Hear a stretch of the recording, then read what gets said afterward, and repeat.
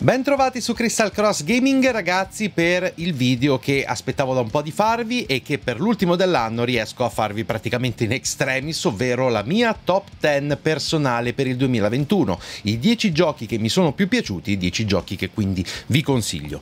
Questa è una top molto personale ragazzi, quindi potrebbe non essere effettivamente così oggettiva, ci sono dei giochi che ho scelto proprio per mio sentimento, alcuni di più, alcuni di meno, quindi è tutto molto personale tutto molto soggettivo, però farò del mio meglio per argomentare queste scelte, d'accordo? E poi sì, c'è il berretto perché è l'ultimo dell'anno e mi sono ridotto all'ultimo perché è un periodaccio, ragazzi. Se seguite il canale aver, avrete notato le assenze di video dell'ultimo periodo, io sto disintegrandomi di lavoro e sto registrando questo video a un orario che non ho neanche il coraggio di mostrarvi, ok? Eh, sto riuscendo a farlo proprio per il rotto della cuffia e con le mie ultime energie rimaste, ve lo garantisco però insomma ci tenevo. Perciò eccoci qua. Pronti per la top 10? Bene. Cominciamo con la numero 10. E la numero 10, ragazzi, vi farà un pochettino forse storcere il naso. Deathloop. Voi direte, ma diavolo, un gioco come Deathloop lo metti al numero 10? Era pure candidato a gioco dell'anno, in alcuni casi ha proprio vinto il primo posto, ok? Alcune riviste l'hanno premiato come gioco dell'anno. Perché lo stai mettendo soltanto al decimo posto? Ragazzi, l'opera di Arkane è molto valida e la mia recensione di questo gioco è stata in realtà molto positiva. Lodo moltissimo le cose che, eh, che, sì, sì, che Arkane ha fatto per questo gioco, che sono molto innovative, molto coraggiose, per nulla scontate in molti casi, con una formula che è davvero, davvero figa. Però c'è una cosa da dire, ragazzi, due cose anzi. Non sono proprio riuscito a digerire la IA del gioco, che secondo me è decisamente troppo, troppo, troppo mal fatta dovevano fare qualcosa di meglio, mi dispiace, questo assolutamente sì, ma non è tanto questo ragazzi, sarebbe stato più in alto se, non, se fosse soltanto per questo, è che è un gioco molto stealth.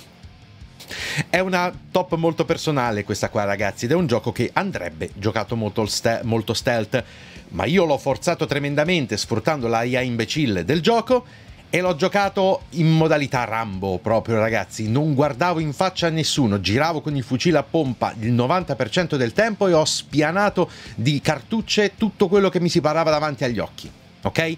Il che ha reso la serie molto divertente per chi la seguiva, d'accordo, però non posso che dire di aver un pochettino pochettino forzato il gioco. Non l'ho giocato come andava giocato. Eh, per carità, uno potrebbe dire: Ma in realtà non c'è modo, potevi anche fare così. Sì, ho capito, ma se spendi tutto quel tempo per fare tutte quelle interazioni che poi non usi, Beh, insomma, l'ho messo al decimo posto sia per il fatto della IA, ma sia perché non posso mettere più in alto un gioco che, diciamo, ha delle meccaniche che mi sono sempre state un pochettino ostiche e che ho sempre un po' eh, rigettato. Ma come gusto personale, ragazzi, questo è un decimo posto estremamente personale, un po' come lo è tutta quanta la top 10, ma ormai ci siamo capiti. Comunque, a mia difesa posso dire, dannazione, è nella top 10 ok? È un bellissimo gioco e perciò, insomma, questi sono i 10 giochi più belli a cui ho giocato quest'anno e ne ho giocati veramente tanti, quindi, insomma, lo considero comunque un buon piazzamento. Fatemi sapere che cosa ne pensate voi.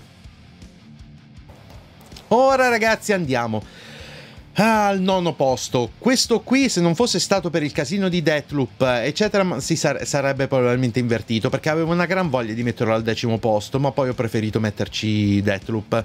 E il nono posto, ragazzi, è Life is Strange Through Colors. Proprio così. Purtroppo questo titolo, ragazzi, io vi dico, l'ho apprezzato. La storia non è affatto male quella che pensavo essere una fiera delle cose, eh, tipo, insomma, la protagonista la prima volta che l'hanno mostrata mi sembrava fresca, fresca, una studentessa di college americana pronta a salvare il mondo a colpi di invettive e di shitstorm su Twitter. E quindi un personaggio che avevo idea che avrei odiato tantissimo. Eh, Beh, invece si è rivelato essere un personaggio piuttosto profondo e molte vicende all'interno di questo gioco sono trattate in maniera molto matura, molto umana e quindi è un gioco davvero notevole. Però gente, quello che posso dirvi è che forse mi aspettavo di più. Magari mi aspettavo di più a vuoto, nel senso che probabilmente i fasti del primo Life is Strange non li vedremo mai più, non lo so, però insomma l'ho voluto mettere nella top 10 perché comunque è un gioco che mi sento di consigliarvi se vi piace il genere, però sì, la storia mi è piaciuta, il gioco l'ho apprezzato e l'ho promosso assai anche durante la recensione, ma è nel bene o nel male una bella storia. E quindi non va più su di così. Però comunque ragazzi, per carità, è un bel gioco, ok? E se vi piace il genere, molto narrativo, molto incentrato personaggio, sui personaggi, sulle interazioni, molto umano, hanno fatto dei passi avanti dal punto di vista tecnico, se non altro, in alcuni casi veramente eh, lo scenario è bellissimo e sì, al di là di tutto, mi sento assolutamente di consigliarvelo. E poi, gente, Ottavo posto, questo è stato un pochettino difficile perché a dir la verità è finito all'ottavo posto un po' per esclusione, perché ho meno cose da dire e forse sarebbe stato più su se avessi avuto più cose da dire. È un po' strana il piazzamento di questo titolo, però tagliamo corto ragazzi, Halo Infinite si è rivelato essere una vera sorpresa e questo è il motivo per cui l'ho messo in top. Altrimenti, ragazzi, forse ci sarebbero stati titoli che si meritano di essere in top anche più di questo, però vi dico la sincera verità. Ho voluto premiare la capacità di 343 di creare una formula, che è la cosa che mi ha sorpreso di più di questo Halo Infinite, che risultasse allo stesso tempo moderna, ma anche un po' vecchia scuola non era affatto facile secondo me fare una cosa del genere, cioè ave- eh, far sentire ai giocatori la sensazione contemporaneamente di vivere un gioco che è il seguito di un brand che esiste da praticamente vent'anni, no? E che quindi è un old fashioned, un gioco con certe cose che sanno un pochettino di vecchio, si sente un leggero odore di naftalina mentre giochi a questo gioco, lo dico in senso buono ovviamente, per le strutture, soprattutto per le strutture interne, ok? Questo posso dirlo, che sa tanto di Halo, ma era questo l'obiettivo. E però soprattutto nell'open world, riesce a dare quella ventata di novità dal punto di vista dello scenario e dal punto di vista del gameplay che è sufficiente secondo me a dargli quel nuovo che gli serviva. E quindi ragazzi si tratta di una formula dannatamente azzeccata.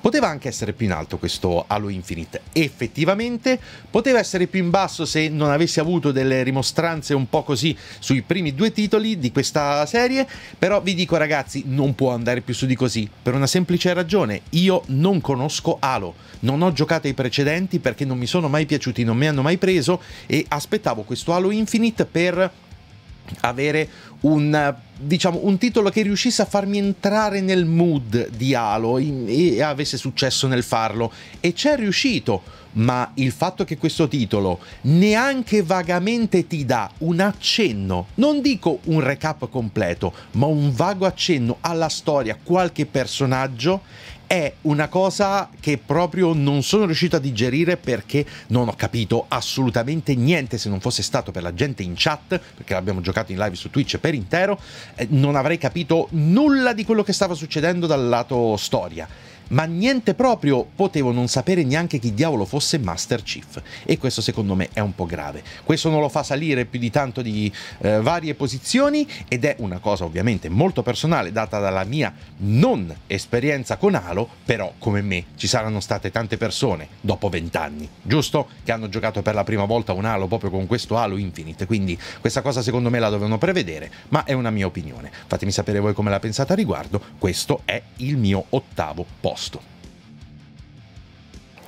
E adesso ragazzi, al di là di tutto, sì ve l'ho spoilerato perché ho fatto un errore, sì tagliamo corto, Resident Evil Village. Sentite, questo sarà un pochettino controversa come cosa, e... però ci ho pensato bene. Io mi sono proprio divertito con Resident Evil Village, vi dico la sincera verità. Questo gioco è stato criticato da più punti di vista ed è effettivamente un qualcosa che uh, in alcuni casi potevano anche risparmiarsi, però mi sono riguardato qualche pezzetto della serie che abbiamo vissuto insieme. Ragazzi, posso sinceramente dire di essermi divertito con questo gioco qua. Ed è stata una sorpresa perché tutto sommato è un titolo a forti tinte orrorifiche. E sapete che rapporto ho con gli horror, soprattutto l'area quella della bambola con quel feto gigante, oh mio dio, mi vengono i brividi al solo pensarci, non dovrebbe certo essere una cosa positiva questa qua, però insomma, al di là di certe scelte, un pochettino indiscutibili soprattutto sul finale, comunque divertenti eh, ma molto what the fuck, ok, www.megatron.com, ok, devo dire che ragazzi ragazzi, questo è un gioco ben realizzato. Magari i vecchi fan di eh, Resident Evil potranno non avere apprezzato moltissimo questo svarionata verso un genere che di fatto è diverso. Potremmo dire un sacco di cose a questo Resident Evil uh, Village, però qui ho voluto seguire il puro istinto, ok? E l'ho voluto mettere nella top ed è praticamente finito in questa posizione perché ragazzi è un gioco che mi ha divertito assai, molto semplicemente. Perciò spicca, spicca rispetto a tanti altri e tant'è. Settima posizione. Quindi ragazzi, eh, nonostante, cioè, mi fa strano veramente mettere un Resident Evil nella mia top, però è questa, questa è la realtà. È proprio andato così. Sono molte soluzioni che mi sono davvero rimaste impresse. E non sto parlando necessariamente di Lady Dimitrescu, che tra l'altro c'è pure poco, secondo, secondo me. Però dai, anche quel personaggio è veramente figo. E mm, non sono più altre le cose che mi sono rimaste impresse, però costituirebbe spoiler e non voglio farlo. Comunque sì, questa è la mia settima posizione. E adesso ragazzi, forse di tutta la top questa è la cosa più improbabile in assoluto se mi conoscete da un po', però devo sinceramente dirvi che se lo merita assolutamente questo posto, al di là di tutto quanto. Ragazzi, Forza Horizon 5. Sì, ebbene sì. Il 2021 è stato l'anno in cui c'è un gioco di guida nella mia top. Ma come diavolo è possibile? Come si è arrivati a questa assurdità? Proprio tu, che certo non ami i giochi di guida, Ragazzi, questo gioco è una madonnissima di gioco. Io raramente mi sono divertito così tanto con un gioco di guida. Sono veramente pochi, pochi, pochi i giochi di guida che sono riusciti a farmi appassionare. E fin da quando è stato mostrato la prima volta, io avevo notato qualcosa che mi stava davvero attirando di questo Forza Horizon. Cafone come poche cose al mondo, ragazzi, come gioco di guida, molto arcade e molto over the top, ma è esattamente il tipo di cose che mi piace. Anzi, io vado ancora oltre, ma quella è un'altra questione Ragazzi, è fatto veramente tanto bene questo gioco. Mi sono divertito dall'inizio alla fine. Poi, per carità, ho scelto di non fare tutto quello che c'era sulla mappa, ma posso sinceramente dire di aver fatto, diciamo, il filone di quest principale e aver completato quello più una bella vagonata di altre cose, quindi insomma è stata rappresentativa la mia esperienza, non me ne posso certo lamentare. E sì, forse l'avrei giocato anche un pochettino di più, ma bisognava passare ad altre cose. Ragazzi, bellissimo ricordo, mi sono divertito tantissimo e se ve lo dice uno che i giochi di guida non li ama, beh, credeteci, Forza Horizon 5 si merita assolutamente questo sesto posto. E poi ragazzi, questo non credo sia una sorpresa, invece, una cosa che potreste aspettarvi effettivamente, ma vi garantisco che la prima volta che l'avevamo presentato questo gioco non mi aveva fatto affatto una buona impressione, ma è uno di quei casi in cui alla fine ti devi ricredere quando vedi come è fatto e lo stai vivendo il gioco. Ragazzi, Marvel's Guardians of the Galaxy. Gente, questo titolo non è perfetto, ok? Ha delle svarionate, ha delle cose che non vanno tanto bene e sì, lo specifichiamolo subito ragazzi, una quantità di bug decisamente eccessiva. Io l'ho giocato fin dal day one, ok? Dal punto di vista tecnico lì per lì era ridotto maluccio. Ma è passato un po' di tempo, probabilmente l'hanno messo a posto, ok? Ma questa è una cosa che voglio sempre sottolineare. Al di là di questo, diciamo prima le cose negative, esperienza abbastanza scriptata gunplay e gameplay dei combattimenti molto basilare e molti hanno detto anche veramente brutto e mi sento quasi di eh, concordare con questa cosa anche se a me non ha dato poi così tanto fastidio. Ma ragazzi la storia i personaggi lo scenario tutto quanto è veramente fighissimo, ma soprattutto non posso non citare, che è il motivo vero per cui è in questa top 10, i dialoghi Ragazzi, non stanno zitti un secondo. Tutto scritto, tutto contestuale, tutto divertente, appropriato e localizzato in italiano, pure il parlato. Tutto! Questo gioco è un continuo dialogo. Sembra veramente di vivere un film qualcuno potrebbe considerare una cosa positiva, qualcun altro una cosa negativa, ma è una cosa di cui bisogna tenere considerazione, perlomeno dal punto di vista oggettivo. Hanno fatto un lavoro impressionante da questo punto di vista. Una delle cose più assurde che abbia mai visto. Mai avrei pensato che facessero una, uno sforzo produttivo del genere, veramente fighissimo dal, dal, punto di vista tecnico, personaggi, e cioè, insomma, mi è veramente rimasto impresso ed è un'esperienza che, che consiglio tantissimo a chiunque ami le cose un po' supereroistiche, un po' cafoncelle e divertenti, non guardi troppo al gameplay del combattimento in senso stretto, gli piace vivere una bella storia un po' scriptata, quello assolutamente, anzi parecchio scriptata, questo c'è da dirlo, insomma un'esperienza mainstream e, e supereroistica molto cafoneggiante, ok? Che però ha secondo me i suoi pregi e io non l'ho mai disprezzata. Quindi assolutamente quinto posto per uh, Guardians of the Galaxy, secondo me meritatissimo. Oh ragazzi, poi questo è un gioco che semplicemente non potevo non mettere in questa posizione qua perché, vabbè, non volevo metterlo sopra ai giochi che verranno dopo, però non potevo metterlo sotto a questo numero qua, in tutta onestà. È stato anche nominato per i Game Awards di quest'anno e mi è onestamente dispiaciuto che, perlomeno a mia memoria, credo che non abbia vinto niente o comunque pochissimo e secondo me qualcosa si meritava. Ragazzi, sto parlando di Ratchet Clank Rift Apart. Ragazzi, allora, questo è un Ratchet Clank.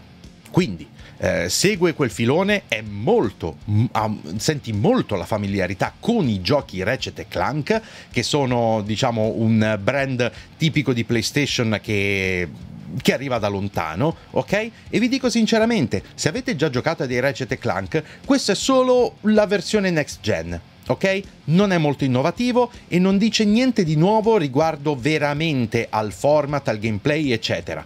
Però, santi Dio, ragazzi, il comparto tecnico di questo gioco è probabilmente, se non il, ma uno dei più belli di quest'anno che abbia visto ultimamente.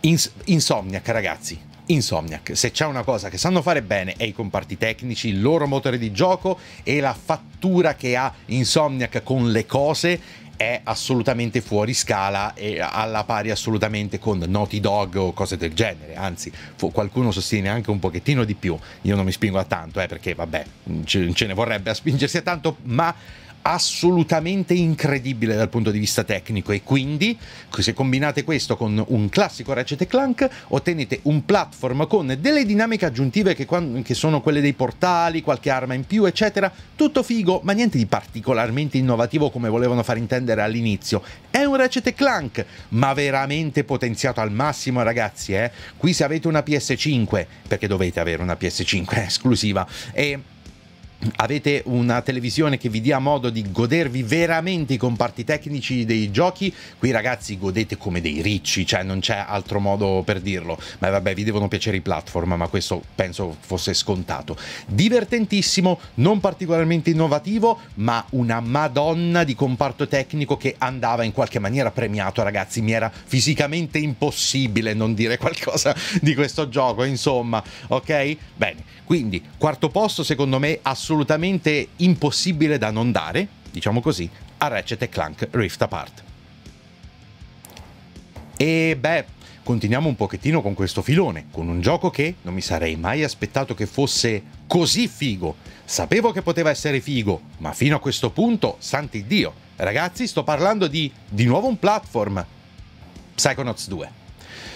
Gente, è un titolo veramente maturo ok? Al netto di alcune cose, tipo il protagonista un po' me e alcune soluzioni che ho trovato un tantinello ridondanti, che forse potevano essere pensate meglio, forse anche il finale, devo dire che ci troviamo davanti un prodotto, gente, di altissima fattura, perché c'è un sacco di roba.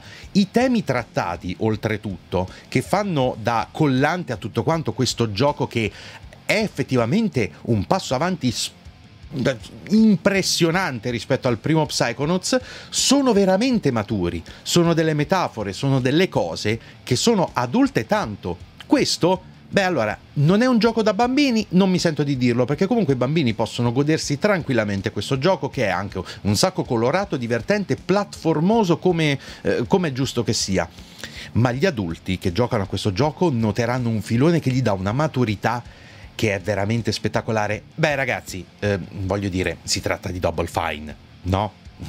Che cosa ti puoi aspettare? Eh beh, eh, di meno. Io mi aspettavo di meno. Non mi aspettavo tutta questa grazia. E quindi, insomma, questo questo terzo posto, Psychonauts 2, se lo merita, altro titolo che non è stato premiato così tanto ai Game Awards e mi è davvero dispiaciuto, quindi per quanto mi riguarda gli do assolutamente volentieri questo terzo posto perché la quantità di posti, di colori, di cose che ci sono, anche qui è veramente impressionante, perciò gente, consigliatissimissimo Psychonauts 2 se vi piacciono i platform e terzo posto, come vi dicevo, assolutamente meritato.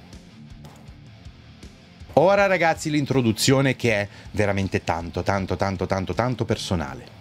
Perché questo gioco non lo vedrete nella top di nessun altro, praticamente, me ne rendo conto, perlomeno degli youtuber più grandi che premiano le cose un pochettino più, tra virgolette, mainstream, che poi non è vero, ci sono state delle introduzioni assolutamente del mondo indie da parte di tantissimi colleghi, ok? Non voglio risultare ingeneroso, è che difficilmente vedrete questo gioco ma non posso non mettercelo perché questo gioco qui ha significato per me tantissimo nell'ultimo periodo ed è stata una delle rivelazioni assolute del 2021 per mille, mille ragioni da qualunque punto di vista Final Fantasy XIV.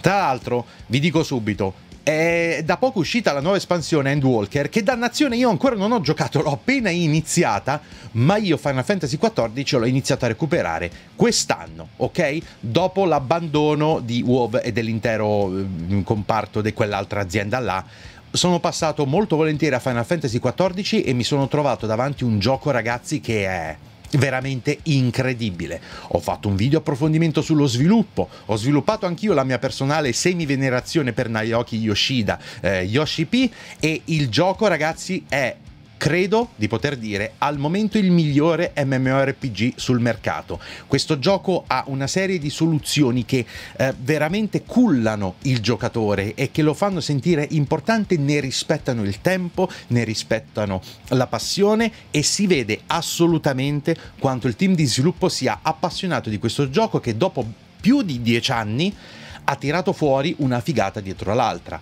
Ora, ripeto, è una posizione un po' strana perché è davvero tantissimo personale questa qui e non potevo non dargli questo secondo posto perché davvero per me ha significato eh, una sorta di compensazione, ma non solo un, un chiodo schiacciachiodo più più più più più per quanto riguarda la mia esperienza con World of Warcraft.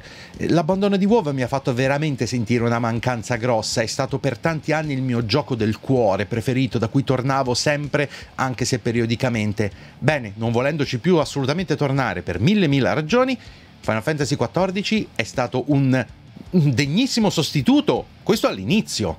Adesso è la mia netta preferenza, proprio senza alcun dubbio. non, non devo più parlare di sostituto per questo gioco qua. Ragazzi, so che molti di voi non condivideranno la, la, mia scelta e so che alla community non piace e a tantissime persone in Italia questo gioco non piace, però che vi devo dire? Al cuore non si comanda. Final Fantasy XIV per tantissime ragioni diverse al secondo posto di questa mia top 10. Assolutamente sì. E beh, poi io credo che se seguite il mio canale da un po' sapete già qual è il primo posto e guarda caso sono in perfetto accordo con i Game Awards e con tanti miei colleghi.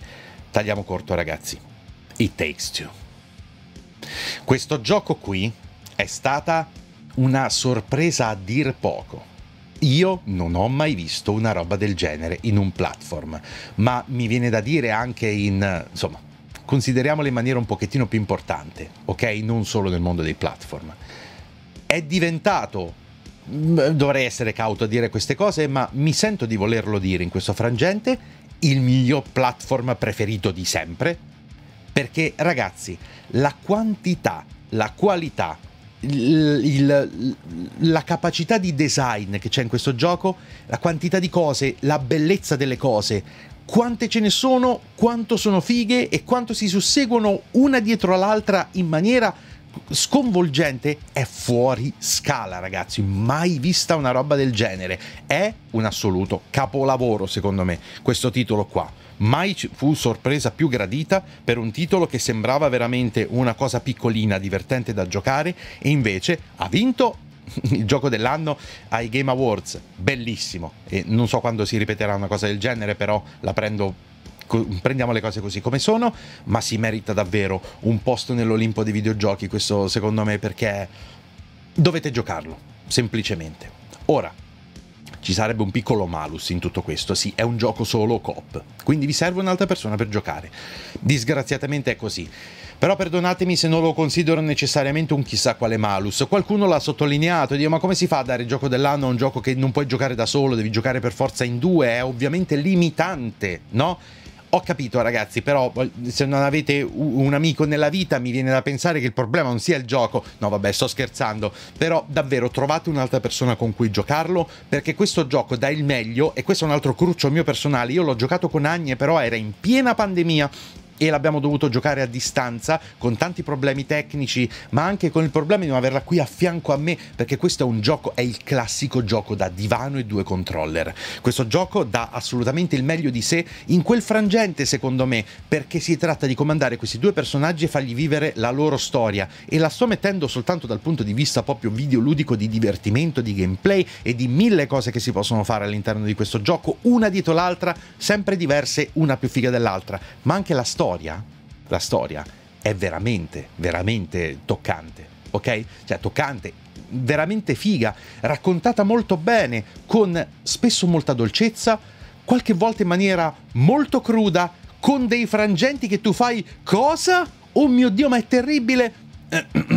Hashtag elefantino, eh, va bene, non ho detto niente. E ragazzi, che altro c'è da dire? Assoluto capolavoro secondo me e assolutamente vincitore del primo posto come mio personale gioco dell'anno 2021.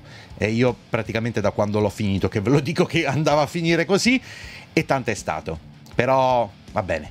I Takes Two ragazzi, assolutamente imperdibile per chi anche solo vagamente ama i platform è un gioco che mi rimarrà in mente proprio finché campo e mi sa tanto che prima o poi lo rigiocherò. Proprio insieme ad Agne con però Agne qui vicino perché si merita il gameplay classico da divano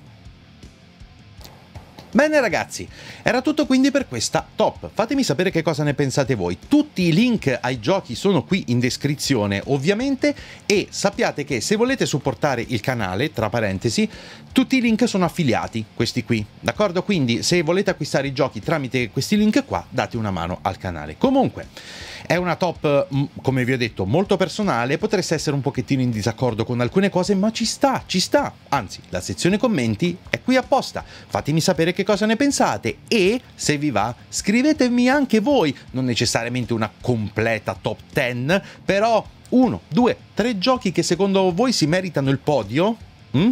Ditemele anche voi che così confrontiamo un pochettino di cose e magari insomma se c'è qualcosa che va recuperato, se c'è qualcosa in più che si può dire, possiamo fare qualche piccolo approfondimento al riguardo. D'accordo ragazzi? Detto questo, è l'ultimo dell'anno, quindi eh, vi voglio ringraziare per tutto quanto il supporto e davvero di cuore grazie per quest'anno passato insieme che veramente tanto tra alti e bassi e tra mille mila ostacoli e inciampamenti vari, alla fine è passato e speriamo che il 2022 sia davvero migliore. D'accordo ragazzi? Buon anno a tutti e grazie mille per aver visto questo video. Noi ci vediamo al prossimo e come sempre gente, mi raccomando, iscrivetevi al canale se ancora non l'avete fatto, iscrivetevi iscrivetevi anche al secondo canale e seguitemi su Twitch, lasciate un bel like a questo video se vi è piaciuto e qui sotto in descrizione trovate come sempre tutti i link ai miei social e community come Instagram e Telegram, tutti i link per supportare il canale, tra cui come vi ho detto i link per acquistare tutti i giochi della, della top 10, eh, i link anche